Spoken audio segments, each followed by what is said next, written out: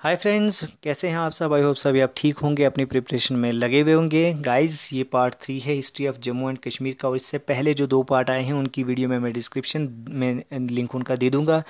जिन लोगों ने भी वो वीडियोस नहीं देखी हैं, वो देख लें। जो भी J K S S B के एग्ज़ाम की प्रिपरेशन कर रहे हैं, उनके उनके लिए वो काफ़ी ज़्यादा हेल्पफुल रहने वाली हैं। ठीक है? इसके अलावा अगर आप इसकी पीडीएफ लेना चाहते हो तो आप टेलीग्राम चैनल पे हमारे ज्वाइन हो सकते हो, जो कि जॉब्स इन्फो जी के जॉब्स इन्फो के नाम से वहाँ पे आपको मिल जाएगा। इसके अलावा आप इंस्टाग्राम पे भी हमें फॉलो कर सकते हैं जी के जॉब्स इन्फो के नाम से, और आप हमसे बात भी कर सकते हो।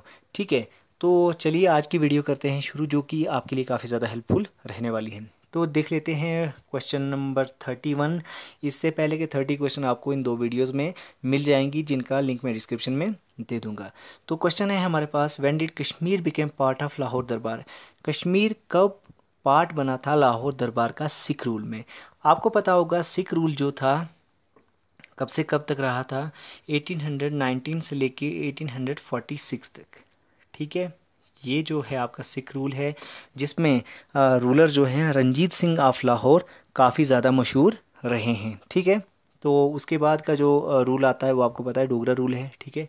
तो इसका सही ऑप्शन है कि कश्मीर कब पार्ट बना था लाहौर दरबार का सिख रूल में, ये बना था आपका option number B is the right answer ये है 1819 ठीक है, बढ़ते हैं नेक्स्ट क्वेश्चन की तरफ़।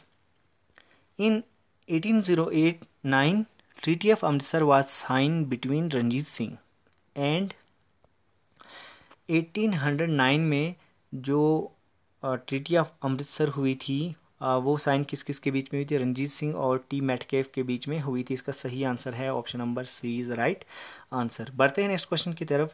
When the treaty of tripartite was signed आपको पता होगा ये ट्राइपेराइट ट्रीटी किन किन के बीच में हुई? तीन लोगों के बीच में हुई थी।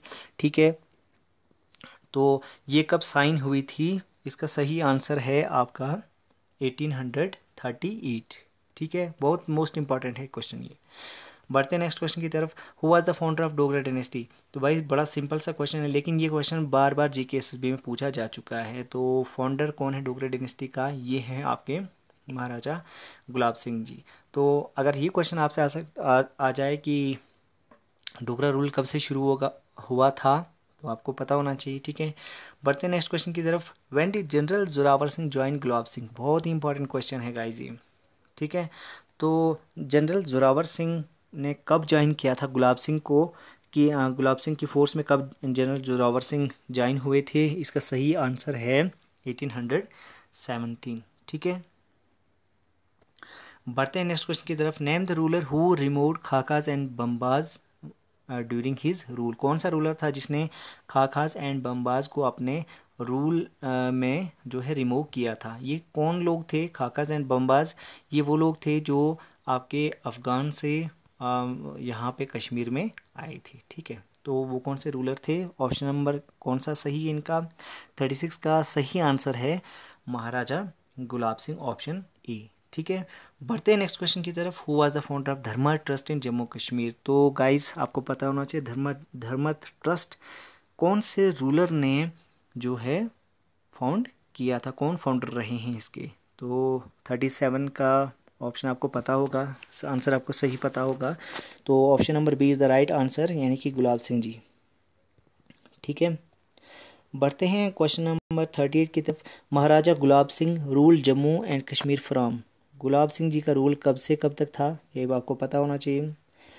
अठारह सौ उन्नीस से लेके अठारह सौ तक। ये रहा सिख रूल और सिख रूल के बाद आया आपका डोगरा रूल। तो डोगरा रूल में, रूलर में सबसे पहले रूलर आ गए गुलाब सिंह जी, यानी कि अठारह से आपका डोगरा रूल शुरू हो गया। तो सी ऑप्शन इसका सही आंसर है।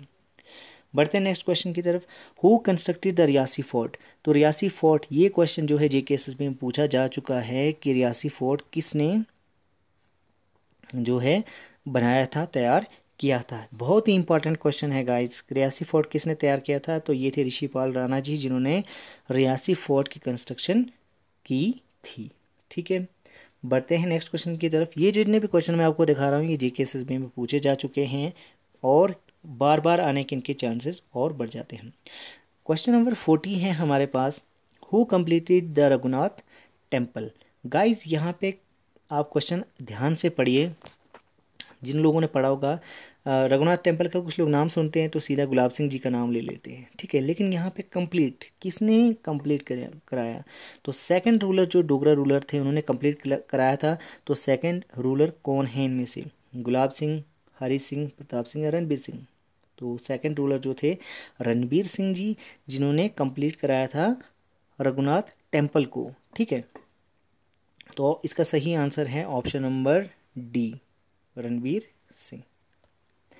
बढ़ते हैं नेक्स्ट क्वेश्चन की तरफ़। Who among the following ruler was the scholar of Persian and Sanskrit language इनमें से कौन सा रूलर है जो पर्शियन भी जानता था, ठीक है, और संस्कृत भी जानता था संस्कृत लैंग्वेज भी जानता था। गुलाब सिंह, हरी सिंह, रणवीर सिंह या अकबर? तो आपका आंसर क्या होगा? जल्दी से आप बताओ इसका सही आंसर क्या हो सकता है आपके अकॉर्डिंग ये क्वेश्चन जे भी पूछ सकता है, इनमें से कौन सा स्कॉलर है जिसको दो लैंग्वेजेस आती हैं पर्शियन और संस्कृत तो यहाँ पे सही आंसर होगा इसका महाराजा कौन? हरि सिंह नहीं, Maharaja Ranbir Singh is the right answer ठीक है इंपॉर्टेंट क्वेश्चन है एग्जामिनेशन पॉइंट ऑफ़ व्यू से। बढ़ते हैं नेक्स्ट क्वेश्चन की तरफ़। Name the ruler donated an amount of one lakh to set up Punjab university then at Lahore. इनमें से कौन सा रूलर है जिसने एक लाख रुपया डोनेट किया था उस समय पंजाब यूनिवर्सिटी बनाने के लिए? ठीक है, जो कि उस समय लाहौर में थी। तो आपका आंसर क्या हो सकते हैं? ऑप्शन देख लेते हैं। रणबीर सिंह, गुलाब सिंह, प्रताप सिंह या हरि सिंह। तो इसका सही आंसर जो है, वो है प्रताप सिंह।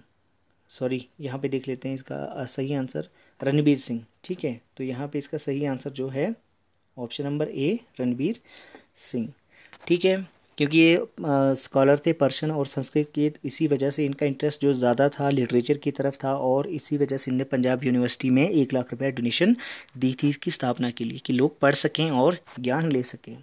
बढ़ते हैं नेक्स्ट क्वेश्चन की तरफ़। Name the Dogra ruler who abolished export duty on shawl most important question guys कौन सा डोगरा रूलर था जिसने शाल पे, शाल को एक्सपोर्ट करने पे जो ड्यूटी लगती है, जो टैक्स लगता है, उसको रिमूव किया था। कौन से रूलर थे यहाँ पे?